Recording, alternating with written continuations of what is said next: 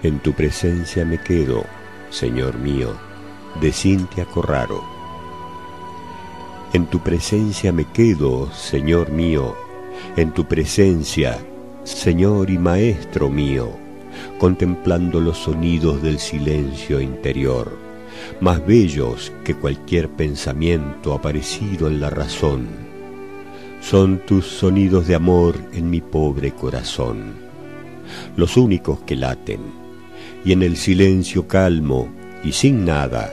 solo resuena el llamado a ser amado. Es pura la nada de solo escuchar el canto de los pajarillos que anuncian tu llegada, la llegada de la misericordia y bondad, hecha hombre, hecha humanidad,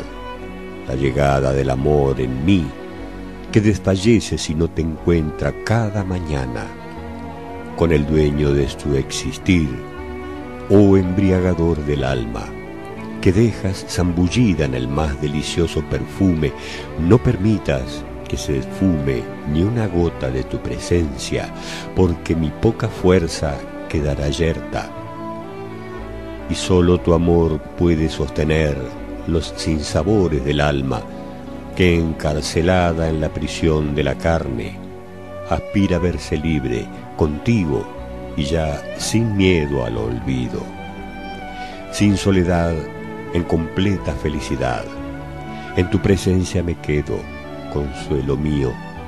al albor de la existencia de un nuevo día lleno de vida que es pura delicia de quien suspira de amor por su propia creación. En tu presencia me quedo, tan solo mirarte es mi consuelo,